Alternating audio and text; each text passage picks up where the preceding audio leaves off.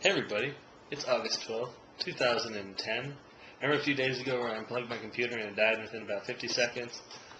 My computer's come a long way since then. Check this out. Boom! Roasted. I hate this thing. Alright, so I'm going to try and break down the Cardinals-Reds fight and the suspensions that were handed out today. Dusty Baker and Tony La Russa both got two games. Uh, Yadi Molina was fined, uh, and uh, Brandon Phillips were both fined. Didn't get suspended. Johnny Cueto was the big uh, guy that got hurt. He got suspended for seven games for kicking. And for those of you, I saw some people that don't think that he should have gotten suspended. So I'm gonna. That's why I'm breaking this down. This is the field. You got the Cardinals with the red. Reds with the black. Right about these two guys right here. We got.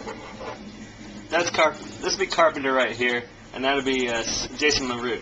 Then right about here you got Scott Rolen. Now, when the fight actually started, like when they were like saying there, Johnny Cueto is like right here, and Scott Rolen is right there.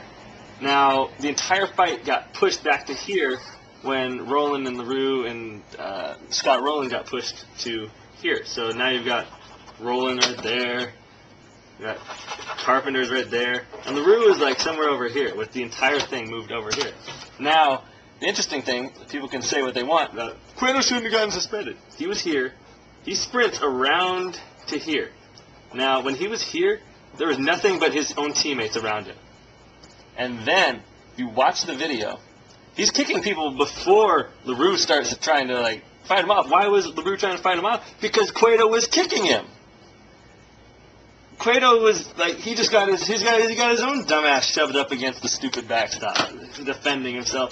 There were, first, like he was there was nobody but his own players around him, and he started kicking people, and then like people were then he could be trying to defend himself. But anyway, in this situation, Johnny Cueto deserves his seven game suspension because he's an idiot. Once again,